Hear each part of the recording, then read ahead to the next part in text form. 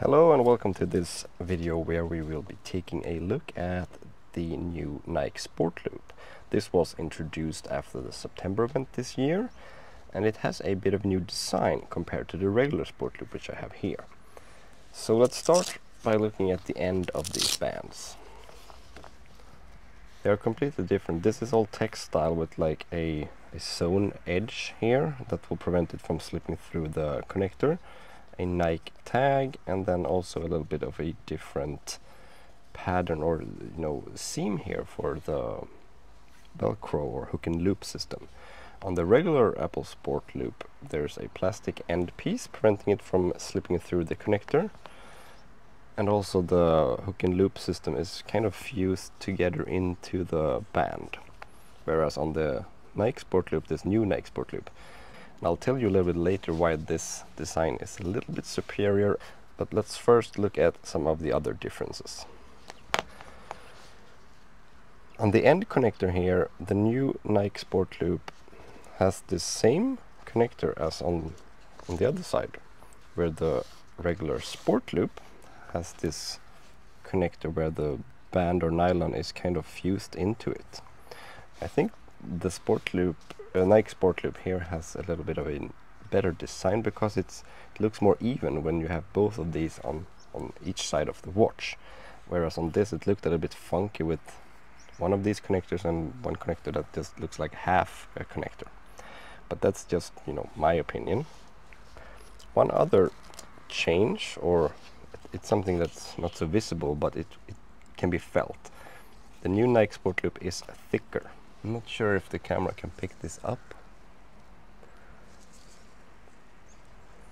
It's hard to see, but when you hold them, this feels a lot thinner. That might be a pro for some users uh, and a con for others because I really like this. It's a little bit more plush. It feels like the hooks are raised a little bit compared to this one should note that this one has been used for six months. That might play a little bit of a role in it, but I do feel that this is thicker overall.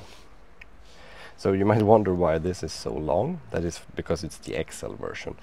The regular Sport Loop comes in the same size as this new Nike Sport Loop does as well. So let's see, Apple's states you should put it on this way, right? See. Yeah. The hook and loop slips through this loop quite easily. Whereas on this band, sometimes when you have it on you, it tends to get snagged because these are individual hook and loop islands, so to speak. That's just something I noted. It's a little bit easier to just shoot. That's nice feels very comfortable. And again not really as comfortable as the trail loop that is on the next level but they are also on different price levels. So for the price here I think this is really decent. And it should hold up very well. This is held up for six months and it, you can barely see that it's been used. The only area where you can see some wear is here where the hooks meet the loops because this will be taken on and off a few times a day.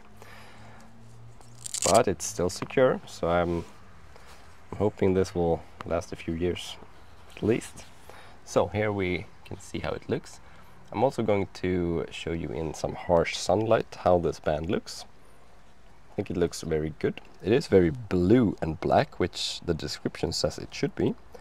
But if you look at Apple's product pictures or product renders on their site, think it looks almost uh, like some kind of gray purplish color.